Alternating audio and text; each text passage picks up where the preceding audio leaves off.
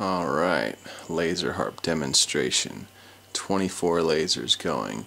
Little fogging machine hooked up. Looks pretty cool. Got chromatic 24 notes over 2 octaves starting at the bottom.